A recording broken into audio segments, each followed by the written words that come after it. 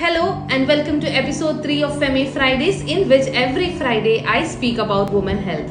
Today, let us speak about painful periods or pain during menstruation.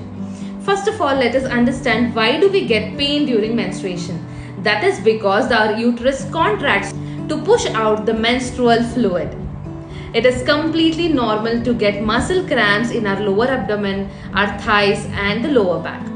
But if the pain is severe, you need to consult your doctor to rule out certain medical conditions like endometriosis. Whenever we have pain, the most common thing we do is pop a pill.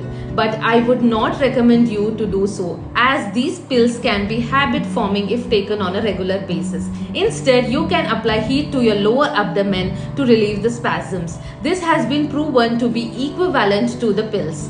You can also add herbs like turmeric, cinnamon and fennel seeds into your diet during the menstrual cycle to relieve the spasms. You have to avoid foods like high salty and sugary foods during this period.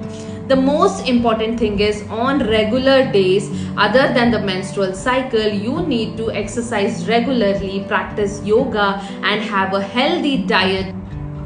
Follow for more and share with someone who needs it.